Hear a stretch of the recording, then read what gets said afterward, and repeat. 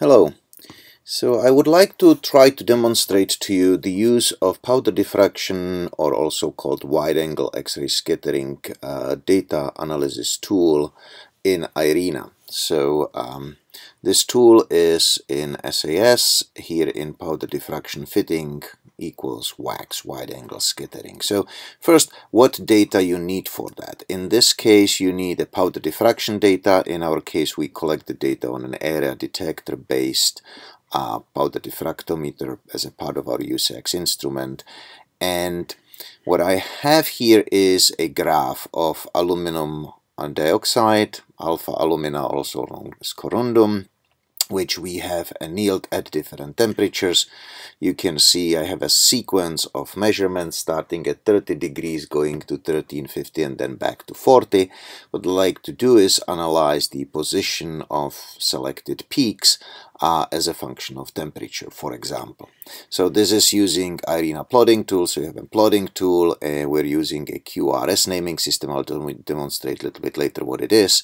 But anyway, what I have is I have a main graph, uh, main graph here and a window in which I have stuck these things. If you go in and zoom on a specific peak, you will find out that different colors will show you that it basically goes from whatever the d-spacing is out here and as we heat it up the thermal expansion causes this peak to shift down and then of course as we cool down back again it comes back up. So you basically start at 40 or 30 or 40 degrees. You can see first and last one overlap and they're basically going up and down so what we'd like to do is somehow analyze this, get a numbers as for the peak positions as a function of this uh, temperature, for example.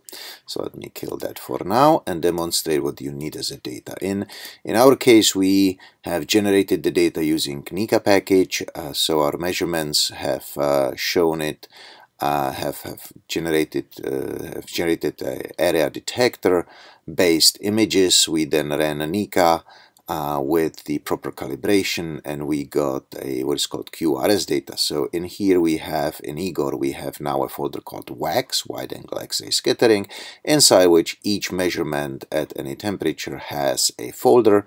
The folder has a name which contains now temperature and an order number. The underbar C means a circular average and then we have a what's called QRS naming system. So in here the Q is a scattering vector. Down here you can see how the Q changes as a function of point on that. So it's a one column of data. R is an intensity. S in uncertainty, you can ignore the other ones. W is basically the Q resolution. Anyway, so each one of these has one, one folder. That is what is called QRS naming system in IRENA. So now if I want to analyze these positions, I'm going to go in and I am going to pick the powder diffraction fitting wide angle scattering. When you do it, you can then up, get a panel. In the panel itself, you select what type of data you have. The most likely one is the QRS. You select where the data are. And then what we need to do is select a sorting order how are the data sorted? Because in this case we would like to start at one temperature probably the low temperature and then fit either all of them as a function of temperature which would be here. If we go alphabetically you can see get 30 degrees but that's a first measurement. Then get a 40 degrees but that's actually the last one of the last measurements 106 107 are the last measurements. So in this case they are ordered according to the increasing temperature here that may not necessarily be the best thing because if you would like to plot at the end the results as a function of of temperature or expo exposure sequence you would like to order these and process these in the appropriate order. So and there's a lots of different methods how to sort samples out. In which in this case if you look on that we have a name under bar something with a C so we can order on something which has a C in it, which is degrees in centigrade. We have an underbar and we have the order number, which is the sequence number as we collected the data. Then we have underbar and the C basically tells us that it's a circular average in Nika. Turns out that if you go in here, you have a something which is going to order according to the second sequence from the end. So if we do it, it actually orders according to this number. So it's ordered 83 first, 80, eh, 85 later, and so on. So this is the sequence of in which we were all collecting the data. So now we have the data in and ordered in such a way. Let's pick the first one. If you double click on it, it automatically creates the graph. So here's a graph of alpha alumina, which we collected. Um, you may want to try to uh, identify the diffraction lines and the typical way to do that is put this stick graph over it with the JCPDS powder diffraction profiles and Nika can, uh, Irena can do that. Here in diffraction lines you can actually put in uh, some JCPDS cards. Now the Irena will not connect to JCPDS server and it costs a lot of money for that server to actually have access to. So uh, if you have access to it, good. If not, I have actually included some cards. So if you click here, I have calculated some uh, cards uh, out of based using of uh, models. So there are tools which allow you to calculate powder diffraction profile based on a crystal structure. So for example, that's a sapphire hexagonal. When you copy it in, it becomes uh, uh, available to you inside uh, inside this given Igor experiment. I can select uh, this one. And if you close it they're now available here. You can now check the checkbox and you will see the bars added in them. If you right click on here you can select a different color like this one and then you have in blue. If you have HKL tags with it you can click on HKL tags and we'll provide you with HKL tags. Um, what you can see is there are some peaks which are obviously missing uh, like this one here is clearly missing. Uh, so this may not be the best one. If you have access to a JCPDS database on an, another computer or on this computer, you can actually export the JCPDS PDF4 cards as an XML. And I have done some of that, so I have a folder with them here. Uh, the output file is JPEG, which is just an image of the powder profile, so that's not very helpful, but there's an XML card which you can use and then you can do and load it in Igor. When you have it in Igor, it creates a table and then you can uh, you can use the table here. You can edit the table if you want, uh, but you can add the PDF card here and you can see that's much better than it was before. It basically matches all the peaks we have up to here and it's probably missing in the card. Uh, you can also add tags to it and it's going to get you the tags to it. So now you have a possibility to identify and you can import more and then put them over it as you need it. So that allows you to identify which peaks is which and, and which one you should analyze. So the next step is you may want to identify want to identify how this peak changes as a function of your processing. So what I'm going to do is I'm going to select just three peaks here and I'm going to go to peak fit. I'm going to start multi-peak fitting and when I do that I can then go in and say auto-locate peaks. It will find the best possible locations for peaks. If it doesn't find them correctly, let's say that I would go here and I would say auto-locate, notice it misses these small peaks. You can then go in, uh, select an area with marquee, you can click in here, let's, let's do it this way let's say you go in here and you want to add this peak here. So let's go in here, add or edit peaks, and then you can go in here and you can simply draw a peak in the area where you think it needs to be. And by moving a little bit around, you can get a peak in and it adds a peak in here. Notice the peaks can have constraints and can have parameters. If you look in here, there are peak locations. These are the guesses.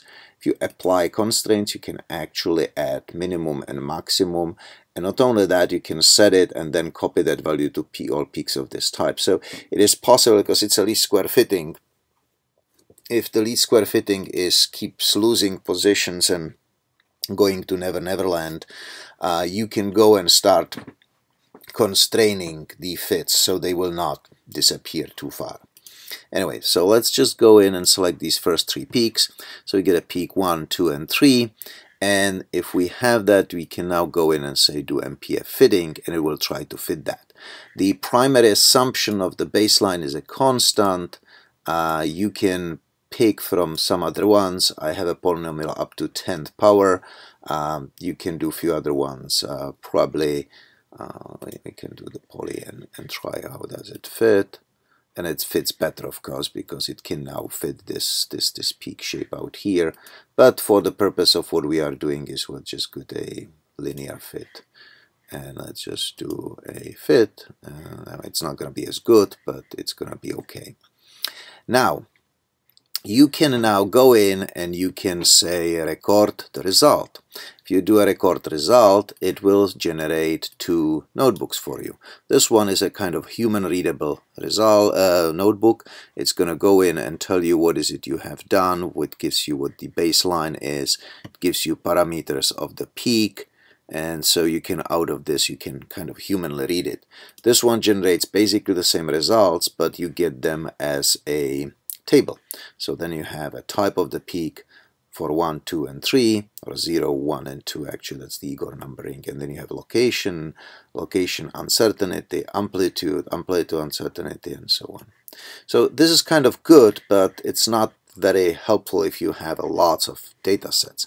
So here is how you can process a lots of data sets. basically you can let the tool do a sequence of these. So let me select all of them. Let's see if that works. Uh, or maybe let's start with few. Just let's start with few of them. And then out here you can give it a folder name. So let's uh, call it a three peaks. Okay.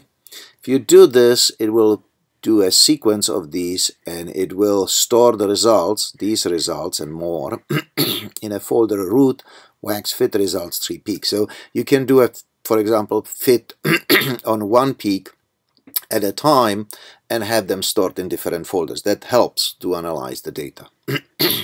when you're happy about everything ready to go, you can do a fit and record a range of data. What it will do is it will stick in the data and it will fit the results. And as it fits the results, it's going to go through the samples. You can see here at the top, it's changing the sample order. So we are now on sample 89, which is the last one. So let's go and take the rest of them in and just fit the rest of them. And you can see it's 90, 91. And so what it's doing, it's, it's swapping the data set for the tool. So the tool actually doesn't necessarily know the data have changed. It just replaces the data set inside. It pushes the fit button and then records all of these numbers. And it records them in that folder which you provided here. And so eventually we can then look through them and generate graphs and do other work with it, which is what we'll do next once we get through as we are on 103, 104, 105 going to be next. 106 and now we have 107 okay so we're done. You can see that at some point the fitting went haywire and it has generated a wrong fit. So obviously somewhere we lost the least square fitting. Least square fitting is famous for losing for losing uh, itself and going to a absolutely physically meaningless numbers what you would have to do is go back and probably start putting in things like uh, constraints. So you would go in here and you would go and set, for example, that the width has to be larger than uh, than uh, than zero or larger than something, and height has to be larger than zero, and so on. So uh, we probably would have to deal with that a little bit better. I just for the purpose of demonstration I'm not gonna do it but it is possible to then go back and and tweak the parameters here in such a way that it will not be able to go to Never Never Land. So now if you want to find what you got you go to plot evaluate results. First thing is let me show you where the results are. So in here now in three peaks for each one of your data sets is created a new folder in which you have a peak 1, uh, peak 0 parameters, peak 1 parameters, peak 2 parameters, and there's lots of other things including fit to data.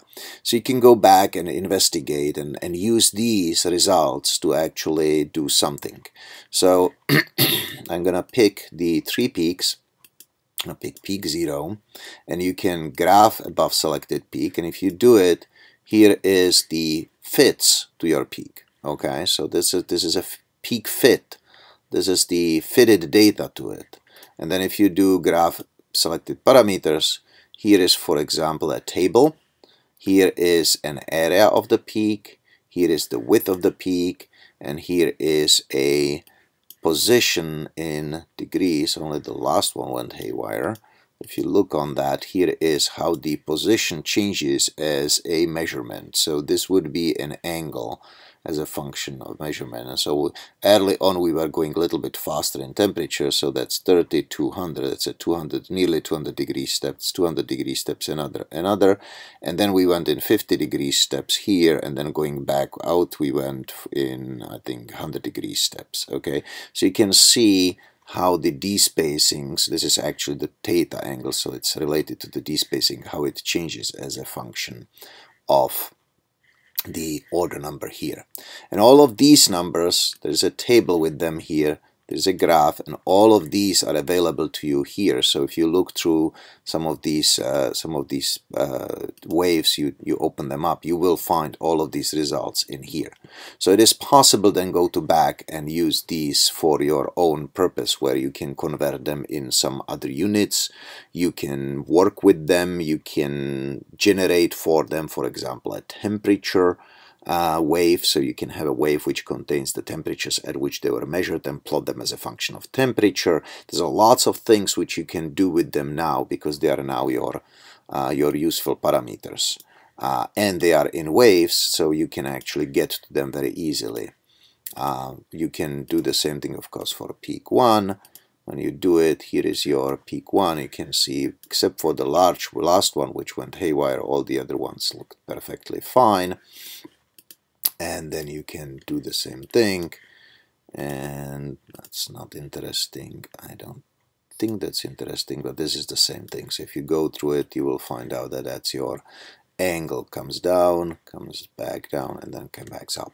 So this is a quick and easy way how to generate first thing is pull out the right data and generate some useful tables out of it instead of having to go back in all of these. This is so these are your records and you can go back and of course read them manually from here if you want to. You can plot them print them on a piece of paper. Or you can do whatever you want with them. They are available. It's a text document. Um, here is another text document. It's even worse to read but it's all in here so you can go in and you can try to figure it out. These ones are actually opened individually for each one of your measurements. And but then you have these graphs which are useful and then you have uh, then you have the results which are here and so you can actually generate. When you select this peak 2 and then you say graph that just generates the graph but when you click on this button it has to generate the numbers for this table. So this table are these waves. So it's from here to here okay? This table which is where you have your angle width and height is actually these waves. So if you want these, you can then work with these somewhere else. You can manually change them. You can use them for your own uh, further steps in processing because this is reliably not the last thing you wanted to do with the data. Anyway, so this is just about it. This is a tool which therefore allows you to go in and using diffraction lines to identify the uh, the spacings, uh, the phases which you have. Uh, you can, you know, append tags and then you can work with this graph and you can uh, put this graph in uh, in uh, in a paper for example if you need to with the tags pointing to the right right peaks so that's one thing that you can do with that and then you can do a peak fit and you can fit the peaks and you can get the d-spacings individually. There are a few other things in here which all are described. If you hit this display help, you actually get two different types of help. Number one which you get is the there is an there's a help file. I probably won't generate too many of these because it's a giant nightmare to generate these. Uh, but um, but that's a help file, Igor help file that's available even when you are offline, uh, and it describes what I just was talking about if you are online, it will also open the current read the doc manual for IRENA, and that is here. It opens up and shows you and basically walks you through everything I have done. So everything hopefully should be mm, reasonably clear and, and obvious for you. Okay, so let me hide that. Last few things in here. If in, in our case, what we do is we subtract background measurements. So we basically do exactly the same processing for WAXS as we do for SAXS and USAXS. We measure an instrumental curve. We measure a, a measurement. We expose the uh, detector without the sample. We actually measure transmission of a sample in in during the measurement, during the wide angle scattering measurement, and we use those uh, to normalize and correct. In case that you wouldn't be doing that, you can actually include that here. So if your data were processed without background subtraction, but you have measured background, you can actually use that and stick in one of the samples as a background. That's sometimes useful because you might be measuring a sample as it changes and something new grows in there. And if the other material doesn't change too much or doesn't change at all, you can actually subtract the starting material as a background from your measured data later down the road. And that way you will isolate only the new phases. So that allows you to see weaker scattering once in a while. Anyway, um, so that should be just about all. There is a display uncertainties here which adds error bars so you can see how precisely you know the data, but that's relatively rarely really useful. So this is all there is about this tool as far as I can say this should get you running and get you provide uh, the basic uh, use of this tool. So if you have any questions, uh, read the manual and if you run into any bugs or any other problems, please uh, send me instructions how to recreate the problem so I can fix the bugs and we can all have a better software. Okay? Well, thank you very much.